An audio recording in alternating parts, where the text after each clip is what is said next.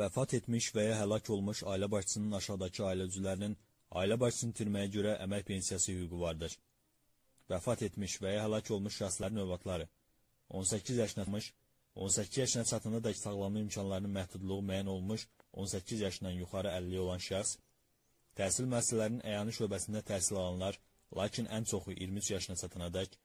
ata, ana, ər, arvad bu əmək pensiyaları haqqında Azərbaycan Respublikasının qanunun 7-ci maddəsinə uyğun olaraq müəyyən edilmiş pensiya yaşına çatmışdırsa, yaxud birinci və ya ikinci dərəcə əlilliyi olan şəxsdirsə, yaşından və əmək qabiliyyətindən asılı olmayaraq valideynlərdən biri və ya ər arvad, yaxud baba, nənə, qardaş, bacı vəfat etmiş və ya həlak olmuş ailə başçısının 8 yaşına çatmamış uşaqlarına, qardaşlarına, bacılarına, nəvələrinə baxırsa və işləmirsə,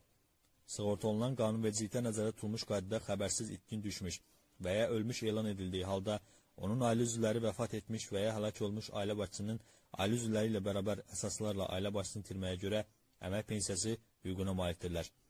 Ailə başçısını itirməyə görə əmək pensiyası ölüm gününədək ailə başçısının ümumilikdə sığorta stajı 5 ildə e, 5 ildən az olmamaq şərti ilə əmək qabiliyyətli yaş dövrünün hər tam il üçün 4 ay sığorta stajı olduqda təyin olunur.